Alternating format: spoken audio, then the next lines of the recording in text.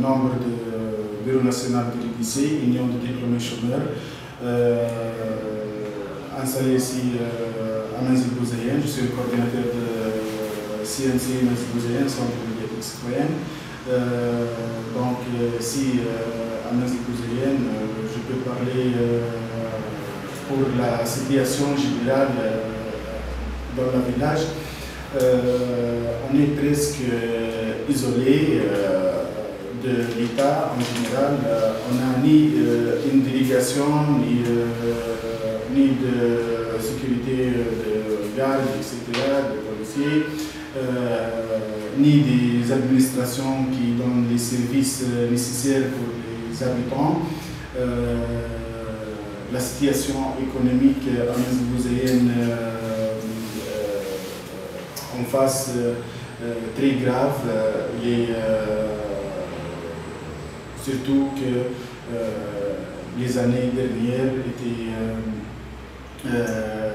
étaient touchées par la mauvais climat sèche qui a presque détruit l'infrastructure de l'agriculture ici à Lanzbouzien qui est la principale activité.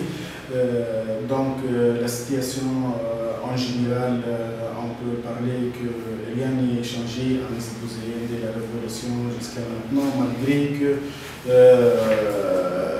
l'effort qu'il a fait les jeunes, les citoyens en général. Mais ce qui est nouveau, ce qui est important, que la société civile euh, travaille beaucoup à chercher de trouver des solutions pour, pour tout ce qui se rencontre autour, autour de de l'information, autour, autour de tous les thèmes qui est, qui est nécessaire, qui, qui manque à Mesbouzienne aussi, on a des associations qui, euh, qui servent des personnes âgées, qui servent les, handicapés, qui servent euh, tous les domaines euh,